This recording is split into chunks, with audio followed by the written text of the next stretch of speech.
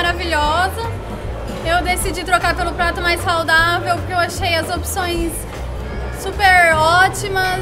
E eu fiquei muito feliz por, pela iniciativa, pela, pela, por essa oportunidade que foi me dada hoje. Vi que tinha o São Peter lá como opção, falei, já queria comer peixe mesmo. E a hora que chegou a conta e eu não precisei pagar, eu falei, é nada, eu fiquei felizão. Eu achei muito legal, muito bacana a iniciativa. Além do mais, a Unimed te incentivou a comer um prato saudável, né? Achei muito legal. E o que me surpreendeu foi a Unimed ter pago a minha conta no final.